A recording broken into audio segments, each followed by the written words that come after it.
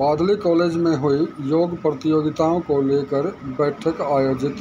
19 जून को होगी योग प्रतियोगिता। बादली ब्लॉक के चौधरी धीरपाल कॉलेज में डॉक्टर हितेश शर्मा, जिला आयुर्वेदिक अधिकारी के दिशा निर्देशानुसार अंतर्राष्ट्रीय योग दिवस के तहत एक बैठक का आयोजन किया गया। बैठक बादली ब्लॉक की नोडल ऑफिसर डॉक्टर संगीता ने ली। बैठक में बादली ब्लॉक के सभी योग सहायकों ने भाग लिया। डॉक्टर संगीता ने बताया कि 19 जून को होने वाली प्रतियोगिता तीन आयु वर्गों में होगी।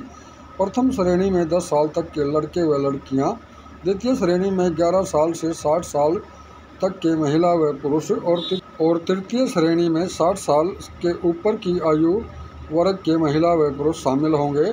ब्लॉक लेवल पर विजेताओं को मेडल और मेरिट सर्टिफिकेट भी दिए जाएँगे।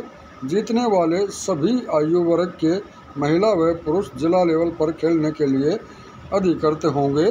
जिला स्तरीय प्रतियोगिता 21 जून को होगी।